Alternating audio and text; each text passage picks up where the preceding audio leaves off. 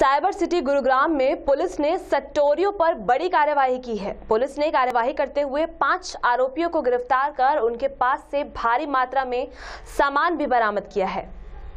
Cyber city में Delhi NCR में सट्टे के काले कारोबार से जुड़े पाँच सट्टेबाजों को गुरुग्राम पुलिस ने उस वक्त गिरफ़्तार किया जब वे अपने नेटवर्क के माध्यम से बांग्लादेश प्रीमियर लीग पर सट्टे के कारोबार को चला रहे थे। पुलिस ने इनके पास से चौहत्तर फ़ोन समेत लैपटॉप व प्रिंटर बरामद किए हैं। पुलिस की क्राइम टीम को गुप्त सूचना मिली थी कि सोहना रोड पर एक फ्लैट से सट्टेबाजी का खेल चल रहा है। इस सूचना पर टीम ने छापेमार कार्यवाही करते हुए इस गिरोह को गिरफ़्तार कर लिया। करें स्टार्ट।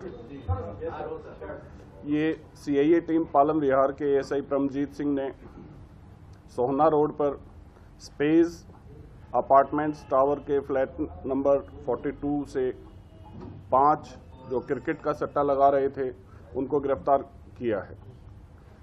जिनसे चौहत्तर मोबाइल फोन्स, कंप्यूटर का लैपटॉप और प्रिंटर, ये चीज़ बरामद की हैं। जो बांग्लादेश लीग प्रीमियर पर सट्टा लगाते थे और जिनको सट्टा लगाते हुए क्रिकेट सट्टा लगाते हुए रंगे हाथों गिरफ़्तार किया गया।